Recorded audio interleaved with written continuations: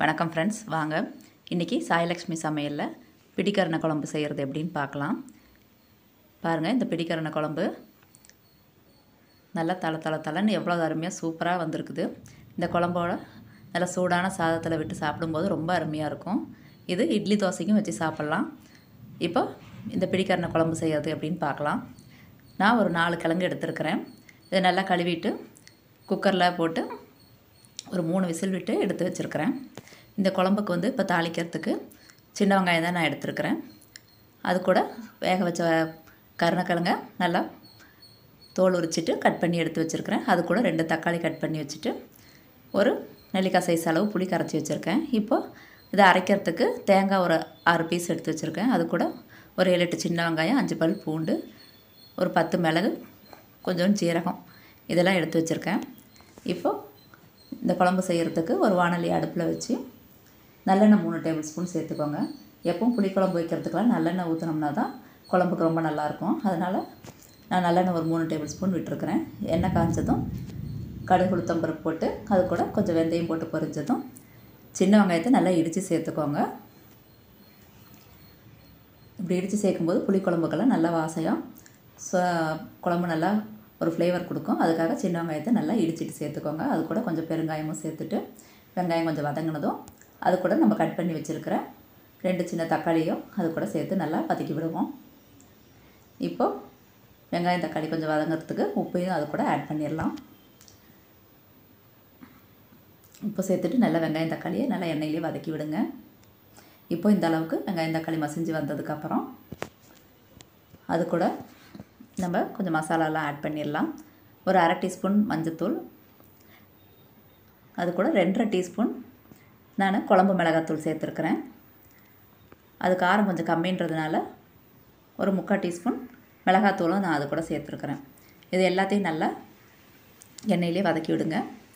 மசாலாவில் நல்லா எந்த எண்ணெயிலே பரட்டி விட்டோம்னா தான் குழம்பு நல்லா டேஸ்ட்டாக இருக்கும். அதனால் எண்ணெயிலே நல்லா வதக்கி விட்டுட்டு இப்போ நம்ம வேக வச்ச கருணக்கிழங்கையும் அது கூட சேர்த்துக்கலாம்.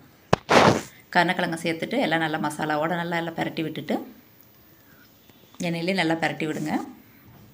இப்போ கொஞ்சம் குழம்புக்கு தேவையான அளவு தண்ணியும் சேர்த்துக்கலாம் ரொம்ப தண்ணி வேண்டாம் ஒரு அளவாக மட்டும் சேர்த்துக்கோங்க.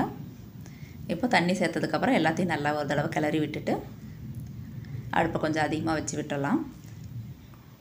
குழம்பு நல்லா கொதிக்கட்டும். இப்போது நடுவில் ஒரு தடவை நல்லா கிளறி விட்டுட்டு அது கூட நம்ம கரைச்சி வச்சுருக்கிற புளியும் சேர்த்துக்கலாம். புளி சேர்த்துட்டு கொஞ்சம் அது கூட தண்ணியும் சேர்த்து நல்லா குழம்பு கிளறி விடுங்க. இப்போ புளி நல்லா கொதித்து அது மிளகா தூளோட பச்சை வாசனை எல்லாம் போகட்டும். ஒரு அஞ்சு பத்து நிமிஷம் நல்லா கொதிக்கட்டும் குழம்பு. இப்போ இந்த அளவுக்கு நல்லா குழம்பு கொதித்ததுக்கப்புறம் நம்ம அரைச்சி வச்சுருக்கிற தேங்காய் பேஸ்ட்டு இது கூட சேர்த்துக்கலாம். தேங்காய் அதிகமாக சேர்க்க வேண்டாம் புளிக்குழம்புக்கு ஓரளவுக்கு தேங்காய் கொஞ்சமாக சேர்த்தா போதும். அதனால தான் ஒரு அஞ்சு பீஸ் தேங்காய் மட்டும் நான் எடுத்துருக்கிறேன். தேங்காய் பேஸ்ட்டு நல்லா அது கூட சேர்த்து குழம்பையெல்லாம் நல்லா கிளறி விட்டு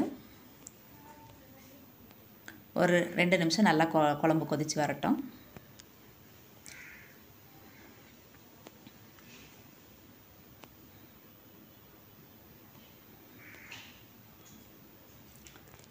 இப்போ நல்லா குழம்ப கிளறி விட்டுட்டு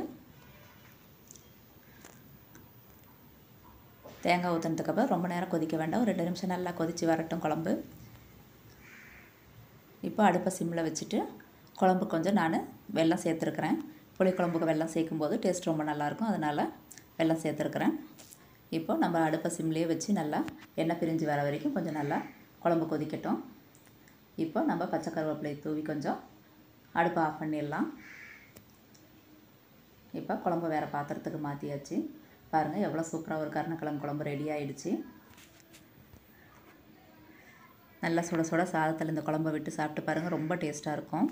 இந்த குழம்பு நல்லா ரெண்டு மூணு நாளைக்கு வச்சு கூட சாப்பிட்லாம். ரொம்ப அருமையாக இருக்கும்ப்பா இந்த வீடியோ உங்களுக்கு பிடிச்சிருந்தா மறக்காமல் லைக் பண்ணுங்கள் ஷேர் பண்ணுங்கள் சப்ஸ்கிரைப் பண்ணுங்கள் தேங்க்யூ ஃப்ரெண்ட்ஸ்